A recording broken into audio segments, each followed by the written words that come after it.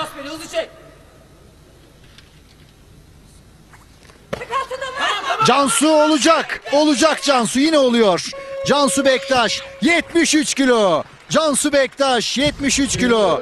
Ve Cansu Bektaş kaldırdığı bu 73 kiloyla koparmanın şampiyonu benim. Koparmanın birincisi benim diyor tescilliyor.